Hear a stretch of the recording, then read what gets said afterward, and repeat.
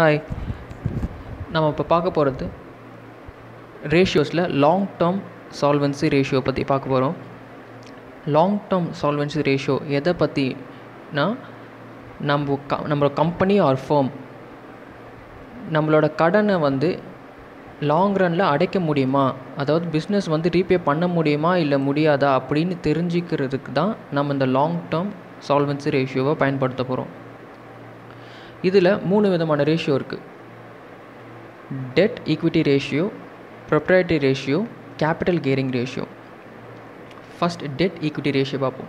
Dead equity ratio அது பேர்லேயே இருக்கும். அதாவது டெட்டையும் ஈக்விட்டியும் கம்பேர் பண்ணுவோம். இந்த ரேஷியோ வந்து நம்ம ஈக்விட்டி எவ்வளோ டெட் எவ்வளோ அப்படின்னு கண்டுபிடிக்கிறதுக்காக. ஈக்விட்டினா என்ன ஒன்றும் இல்லை ஷேர் ஹோல்டர் ஃபண்ட் அதாவது மக்கள் நம்ம கம்பெனி கொடுத்துருப்பாங்கல்ல ஷேர் ஹோல்டர்ஸ் அவங்க கொடுத்த ஃபண்டும் டெட்னா கடன் மொத்த கடன் கம்பெனிக்கு இருக்க கடன் எவ்வளோ ஷேர் ஹோல்டர் ஃபண்டுக்கு எவ்வளோ இருக்குது கடன் எவ்வளோ இருக்குதுன்னு நம்ம வந்து அது ரெண்டுத்தையும் வந்து ரேஷியோ பண்ணி பார்க்க போகிறோம் first debt equity ratio formula என்னென்னா long term debt divided by shareholder funds அதாவது டெட் டிவைடட் பை ஈக்விட்டி அப்படின்னு வச்சுக்கலாம். இப்படி நான் வச்சுக்கோங்க. Long term debt divided by shareholder funds long term டெட்னா எதெல்லாம் long term டெட்னா at more than a year வர கடன் எல்லாமே வந்து லாங் டேர்ம் டெட் சொல்லுவோம்.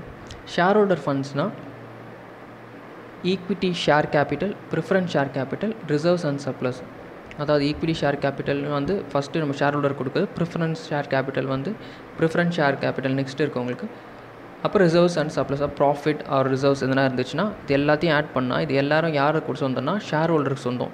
அதனால தான் ஷேர் ஹோல்டர் ஃபண்ட்ஸ்னு சொல்கிறோம் ஓகே இப்போ நெக்ஸ்ட் அப்படியே இதை பார்த்து ஆன்சர் சொல்ல ட்ரை பண்ணலாம். டெட் ஈக்விட்டி ரேஷியோ கண்டுபிடிக்க சொல்லியிருக்காங்க. இதான் எக்ஸாம்பிள் இந்த எக்ஸாம்பிளில் கண்டுபிடிப்போம். டெட் என்ன? ஓகே டெப்ட் வந்து டெட் வந்து லாங் டேர்ம் ஒன்று தான் இருக்குது ஓகே அப்போது எயிட்டி தௌசண்ட் ஒன்று இருக்குது நெக்ஸ்ட்டு ஈக்விட்டி என்ன இருக்கும்? ஷேர் ஹோல்டர் ஃபண்ட்ஸ் தான். எவ்வளோ இருக்குது one lakh plus sixty thousand இருக்குது அப்போ ஆன்சர் என்னென்னா eighty lakh divided by one lakh sixty ah correct eighty lakh divided by one lakh sixty இதை டிவைட் பண்ணால் zero point five is to one ratio நீங்கள் இப்படி வந்து debt equity ratio long term divide by share holder funds போட்டு long term என்ன share holder funds என்னன்னு அப்படி எழுதிக்கலாம். நெக்ஸ்ட்டு ப்ரொப்ரைட்டி ரேஷியோ இது எதுக்குன்னா நம்ம ஷேர் ஹோல்டர் ஃபண்ட்ஸ் இருக்கு இல்லையா அந்த ஷேர் ஹோல்டர் ஃபண்ட்ஸை வந்து டோட்டல் அசட்டோட கம்பேர் பண்ணுவோம். நம்ம வந்து அந்த ஃபண்டு வந்து டோட்டல் அசட் எவ்வளோ அந்த அசட்டில் வாங்கியிருக்கோம் டோட்டல் ஃபண்டுக்கும் அதுக்கும் எவ்வளோ கம்பேரிசன் பண்ணோம் எவ்வளோ இருக்குது அப்படின்னு பார்க்குறதுக்காக. ஓகே டேரக்ட் எக்ஸாம்பிள் வந்துடலாம். ப்ரொப்ரை ப்ரொப்ரைட்டி ரேஷியோ ஷேரோடர் ஃபண்ட்ஸ் என்ன? எங்கே இருக்குது இருக்குது இது மூணு இருக்கா? அவ்வளோதான் முடிஞ்சு போச்சு. ஷேரோடர் ஃபண்ட்ஸ் அவ்வளோதான் மூணுத்தையும் ஆட் பண்ணிடணும். நெக்ஸ்ட்டு டோட்டல் அசட் என்ன? இங்கே பாருங்கள் அசட் நான் கரண்ட் அசட் கரண்ட் அசட் ரெண்டு அசட் இருக்குது ரெண்டுத்தையும் சேர்த்தா தான் டோட்டல் அசட் வரும் டோட்டல் அசட்டும் வேல்யூ கொடுத்தாச்சு.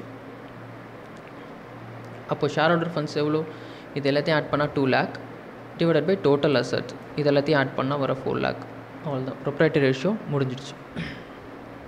நெக்ஸ்ட்டு கேபிட்டல் கியரிங் ரேஷியோ இது எதுனா நம்ம கம்பெனியில் இருக்க ஷேர் ஹோல்டர் ஃபண்ட்ஸோட ஃபிக்ஸ்டு இன்ட்ரெஸ்ட் ஆர் டிவிடெண்ட் அதாவது கம்பல்சரியாக ஆகிற செலவு கேபிட்டல் எக்ஸ்பெண்டிச்சர் வந்து கம்பல்சரியாக என்ன ஆகும்?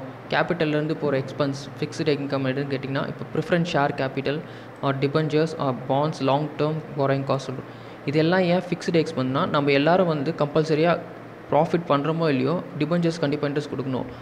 லாங் டேர்ம் பார் பேங்க்ஸுக்கு நம்ம வாங்கியிருப்போம்.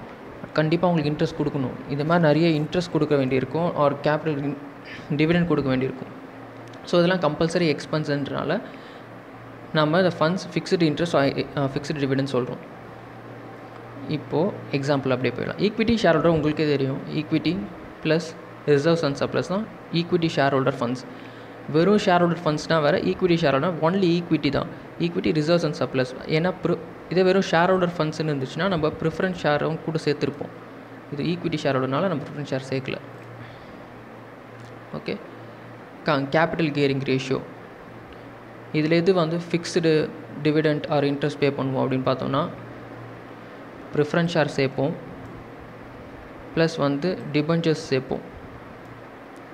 ஓகேங்களா? இது ரெண்டு மட்டும்தான். So one lakh plus two lakh உங்களுக்கு த்ரீ லேக் நெக்ஸ்ட்டு இருக்கிறது என்னென்னா ஈக்விட்டி ஷே ஈக்விட்டி ஃபண்டு இது டூ லேக் ப்ரிஃபரன்ஸ் சேர்க்கக்கூடாது. ஸோ ரிசர்வ்ஸ் அண்ட் சப்ளஸ் என்ன இருக்குன்னா ஜென்ரல் ரிசர்வ்ஸ் அண்ட் சப்ளஸ் அதான் ரிசர்வ்ஸ் அண்ட் சப்ளஸ் கேட்டகரியில் வர இது ரெண்டுத்தையும் ஆட் பண்ணணும். ஃபோர் லேக் அவ்வளோதான் கேபிட்டல் கியரிங் ரேஷியோ முடிஞ்சிச்சு இப்போது அந்த மூணு ரேஷியோ நம்ம பார்த்தாச்சு. Debt equity ratio proprietary ratio and capital gearing ratio இப்போ இது மூணும் முடிஞ்சாச்சு. ஜஸ்ட் வேணால் சின்ன ஒரு எக்ஸாம்பிள் இது கடைசி எக்ஸாம்பிள் எல்லாமே சேர்ந்த மாதிரி பார்த்துக்கலாம். Debt equity ratio first debt என்ன இருக்குது டிபஞ்சர்ஸ் இருக்குது ஈக்விட்டி ரேஷியோ என்ன இருக்குது அதை ஷேர் ஹோல்டர் ஃபண்ட்ஸ் மொத்தமாகவே ஆட் பண்ணணும். இது மொத்தமாக ஆட் பண்ணால் எவ்வளோ வருமோ அதுதான் ஈக்விட்டி ஷேர் ஹோல்டர் ஃபண்ட்ஸ் டெட்டுக்கு வந்து இந்த four lakh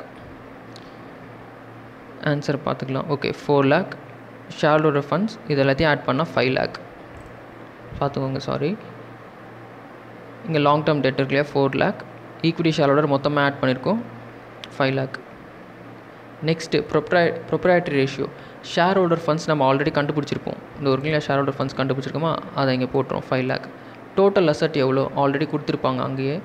அசட்ஸில் total asset ten lakh okay divide by ten lakh இது முடிஞ்சு. கேபிட்டல் கேரிங் ரேஷியோ மட்டும் தான் எக்ஸ்ட்ரா கண்டுபிடிக்க முடியும். வேணும். இங்கே எங்கெங்கே நம்ம பே பண்ண போகிறோம் ஃபிக்ஸ்டு எக்ஸ்பென்ஸ் எது பார்க்கணும்? கண்டிப்பாக ஃபஸ்ட் வந்து ப்ரிஃபரன்ஸ் இருக்கும்.